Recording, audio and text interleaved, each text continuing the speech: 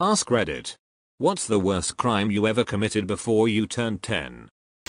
I stole $500 and a chapstick from my dad's wallet and put it into my Darth Vader piggy bank and he figured it out pretty quickly when he noticed the chapstick on the floor of my room. Upon looking in my piggy bank and finding the five $100 bills, I told him it was from allowance when he never gave allowance. You almost had him. In my mind, I executed the crime with sheer perfection, only to realize that my downfall would be trying to prevent chapped lips. I stole a game of Battleship from a daycare, ship by ship and then colored peg by peg. They just thought we kept losing the pieces because we were kids.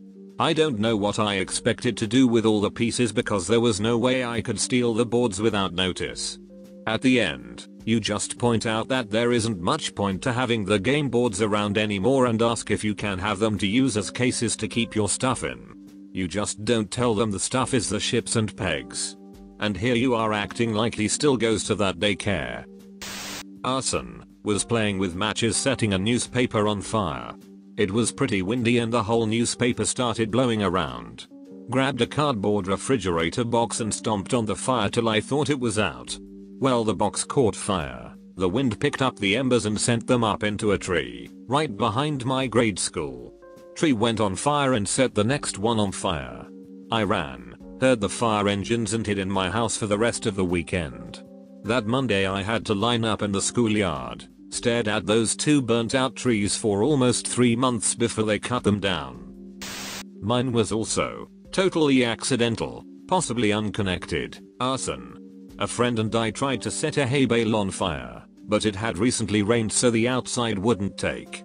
Eventually we got part of the middle smoldering but it still wouldn't go up like we wanted. Eventually we just left. It was slightly spitting rain so we figured it would just put it out. The next day everyone in the small town we lived in was talking about how the big shed that was used for hay storage out the road had burnt down. People were saying the owner had done it for the insurance because his farm had gone broke. My friend and I went to different schools but we spoke about it over the phone later. We both agreed we couldn't talk over the phone anymore because they might have bugged our phones. Mid 90s. X-Files was big at the time. It actually ruined our friendship. The guilt and stress was too much. No one ever got in trouble and apparently the farmer did get an insurance payout, although I can't verify that. On a positive, it did get rid of some burgeoning pyromaniac tendencies, that whole thing really going have gone either way. Plot twist, farmer saw you playing with matches, waited till you left, and set the whole place ablaze. When I was about 6, my friend and I broke into my neighbor's house through an open window and stole his dog. I really wanted a dog and my parents wouldn't let me so my friend and I were convinced we could steal my neighbor's dog and keep it a secret from my parents. We actually got the dog all the way back home and were discussing what to name him when my mom caught us. I'm still so ashamed by this. At the local aquarium, children under 5 were free. I was 6 but got in for free. When I was about 7 or 8, I was in a department store with my mum. As kids do, I saw something I wanted, pointed it out to my mum and she agreed I could have it. My mum then proceeded to take a while to finish her shopping, and I got sick of holding on to it so I put it in my pocket, intending to take it back out at the checkout. I had completely forgotten it was there. I didn't realize until I got home that I essentially shoplifted. I had a breakdown thinking I was going to get arrested. I stayed at a cinema and watched three movies before leaving. My best friend and I grabbed baseball bats and beat the shit out of a random mailbox. Turns out it was the only black family in my neighborhood too. Ah oh man, this going to be so cool.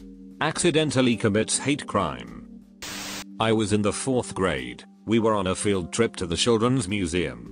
We were passing through the souvenir shop on our way back to the bus when something wonderful caught my eye, a shiny new figurine of a Triceratops. Being a dinosaur fanatic at the time, I was immediately smitten. Alas, though, we were not allowed to purchase anything from the shop. But, as luck would have it, a fight broke out near the front of the line, and with all the teachers distracted I saw an opportunity and I took it. Quick as lightning, I reached out and snatched up the beautiful Dino and shoved it into my sweatshirt, with nobody the wiser. Thrilled and emboldened by my success, I figured that it was either go big or go home. I was already a criminal anyway, wasn't I? While the hapless teachers continued to prance frantically around the slap fight like a bunch of sims near a house fire, I was busy shoving into my robber's bag, one canister of silly putty, two Chinese finger traps, a pack of Willy Wonka nerds, a shit ton of those colored rocks mineral things that gift shops always seem to have. I never got caught. I ain't proud of it, but hey I didn't choose the thug life. The thug life chose me. I was walking in the hall to the bathroom in first grade, and I thought I would save time by pulling my donk out before I got to the bathroom. In front of a teacher and a cop, lol. Did you get instantly promoted to principal since you established your dominance? My friend wanted to see a nudie magazine. Being little kids, naturally he couldn't buy one over the counter anywhere. So he prodded and talked me into stealing a dirty magazine from the local used bookstore. I had no idea where they kept the dirty magazines. My friend said in the rear of the store. I went there and saw a magazine with a large breasted, but clothed woman pictured on the cover. I grabbed it, stuffed it under my shirt and brought it to my friend. My friend complained it was the wrong magazine. It wasn't a dirty magazine. Just a regular one. He wanted me to go back in there and grab a Playboy. I refused to do it a second time hit a baseball at a car windshield and broke it. Usain bolted the fuck out of the scene, but then my dad found out about it and made me fess up to the owner. The owner was a good sport and let me off the hook. My dad however, made sure to pay him to cover the repair costs, and took my allowance away for a while. I used to steal marbles from school. I came home one day and bawled my eyes out in my room, before asking my mom if thieves go to hell. Yeah, unless they're really sorry for it. I wasn't sorry for it. I cried more. Destruction of federal property. There was a park near my house that had once been a Civil War fort. We found this really cool giant piece of quartz that we decided to dig up and bring home. Turns out it was a grave marker for a mass grave of Union soldiers. Oops. Do you want ghosts? Because that's how you get ghosts. Grand Theft Cookie withholding evidence, obstruction of family justice, was sentenced to one day solitary confinement. This kid Ricky stole my Orlando Magic beanie and denied it to the teacher. One week later he brought his dad's portable black and white TV, not much bigger than a Game Boy with a big antenna. I took it out of his bag when he wasn't looking and stashed it. He immediately blamed me but couldn't tell the teacher because I guess we weren't allowed to have TVs. So he just sucked it up thinking I would give it back at the end of the day. I remember watching that show Gargoyles in my room late that night on my new portable TV, laughing quietly at the beating he probably took from his dad for losing his TV. If you are reading this Ricky, I'm not sorry. 5 years old, a man lived in the apartment across the hall from us and he would always say hello and be super cool. Then one day I learned how to write my name so I decided to scratch it into his car with a nail so everyone knew we were friends.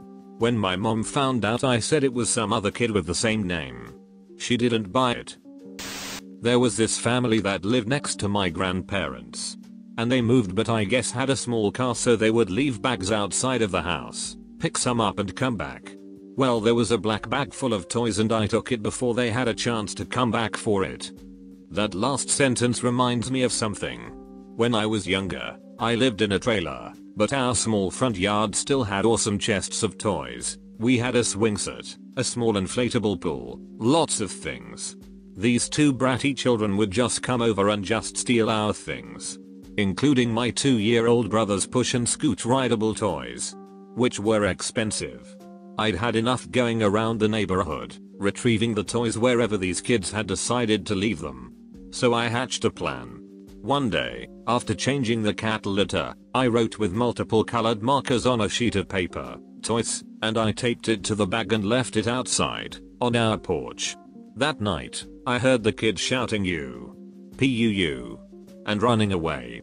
I went outside and found where they'd torn the bag open and spilled cat feces all over themselves. I was 9, and this was the funniest thing in the world for me. They didn't come back. The end. When I was 7, my grandfather would take me to empty parking lots and teach me how to drive. When I was 9 he was in the hospital and was home for several weeks and I would drive his car around town, running errands and picking up groceries for him. Did this for almost 3 weeks and never got caught. My grandfather also taught me how to drive when I was like 8. He used to give me money and a note to go to the store to get him smokes. My cousin and I also burned our tree house down with said smokes. We got the belt from our grandmother and a good job and a high five from grandpa. I almost blew up my entire neighborhood when I was 12. It was summertime. Early 90s.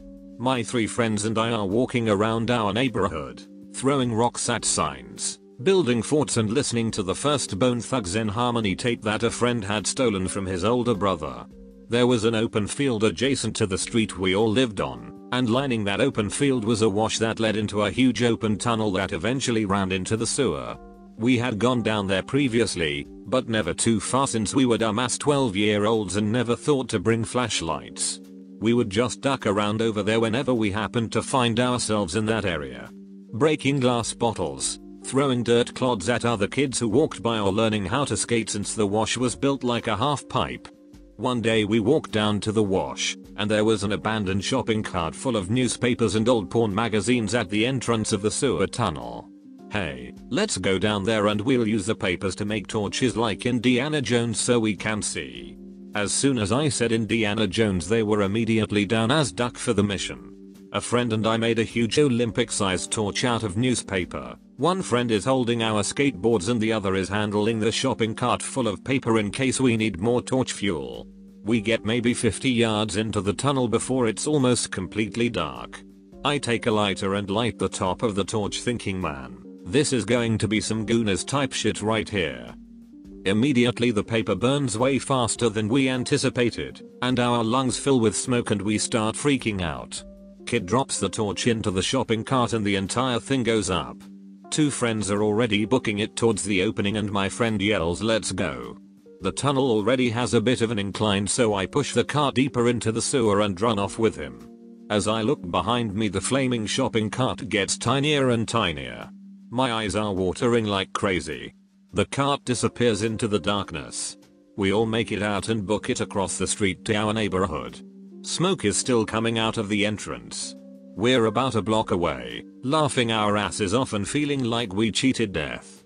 Suddenly, boom boom boom boom. Manholes start flying off the ground and it feels like a small earthquake just hit our neighborhood. One manhole lands directly onto a neighbor's car. There's water in the street from a now broken fire hydrant.